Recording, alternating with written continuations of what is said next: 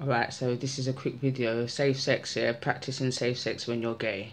First of all, according to my sources, officially, before two men try to have sexual intercourse, they have to give themselves a colonic irrigation. A colonic irrigation is when you shoot water up your anal cavity, up into your anus, and let all of the um, the fecal matter drop out of your bottom. So, if you do know people that are gay and you want them to practice safe sex, I'm talking about young people, innit? This is what you have to tell them, innit? Because at the end of the day, people are going to love who they love and they're going to feel for who they feel for. Whether that's right or wrong, you know, it's got nothing to do with us or anybody else, innit? It's got to do with let's make them safe. Let's make them do the thing safe, innit? Yeah, and you're meant to use condoms and that. But before you have any type of anal interaction, you must wash out your bottom. So when your man comes home from the dance and he's talking about babe, babe, yeah, no. Because you ain't trying to wash out your bottom. I know you're not doing none of that. And if you are that type of person, then that's what you have to do in it. That's why it keeps infections down. Right. How do I know? Because obviously I know people and I talk to people, bro. I talk to enough people, you know. And my sources tell me that that's what they have to do. So I'm coming to tell my gang gang the minute because I don't know who's watching me. And if you're watching me, big up yourself in your real life. You get me? If you're gay, people need to mind their business because it's not hard. It's not easy to take wood in your bottom. It's not.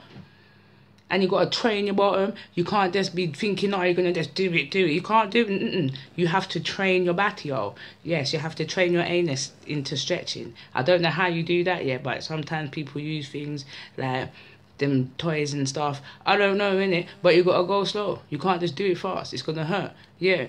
You gotta ease yourself into it. So for me, yeah, right, we'll see seven seven seven. I'm telling you how to do it safe, innit? Yeah. If you're gonna do it, do it, but be safe, bruh. Mm. Stop telling people that God is wrong. Stop telling people that the Most High is wrong. The Most High put them there for one reason, you know.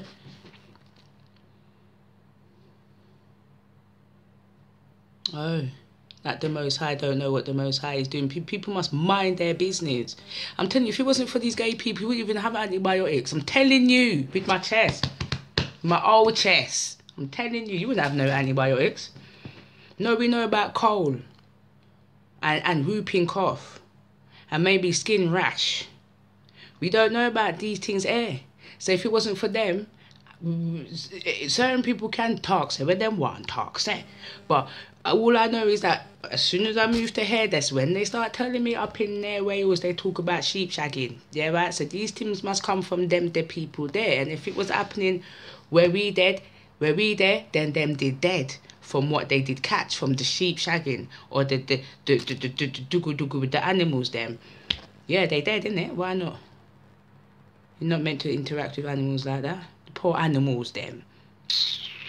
Animals should give you a ass kick anyway, but but, but my point is, yeah, right, trying to stay stay English, but no. But my point is, yeah, is that yeah, it's not easy.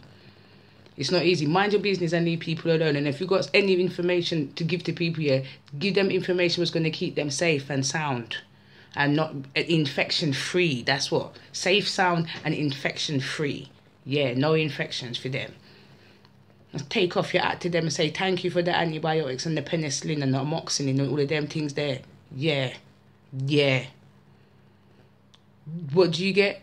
Does it trichomonas? When your man wants to push from the back to the front, trichomonas is what you get, yeah. And you got 13, 14, 15, 22 people, they don't know these things. So if you watch me and you don't watch anything else, this is something you need to watch for real. No back to the front business. Don't let nobody put it in your bottom and then pull it inside your, your hole where you push that baby. Don't make them do that because you'll get trichomonas, yes. Yes, and you'll start spitting that white stuff. Mm-hmm. Mm-hmm. And if you sleeping man, with sleeping man, you'll get this special type of gonorrhea that is they inside their sperm. Let me put on my slippers. Anyway, this is meant to be quick and I've been going on for nearly five minutes now because it is serious. So if you're gay and you want to have sex properly inside of your anus, wash out your bottom first. You can do it with a plastic bottle as well. I'm just saying. I'm just saying.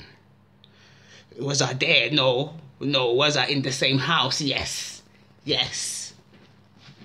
Mind your business, innit? Just mind your business. you get me? Ask me no questions, I'll tell you no lies. But if you ask me, I'll tell you, but you get me?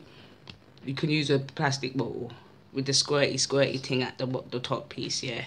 Wash out your bum first and you don't get infection. I don't know if you don't get infection, but you know what I mean. You know what I'm trying to say. You don't get doo doo on you.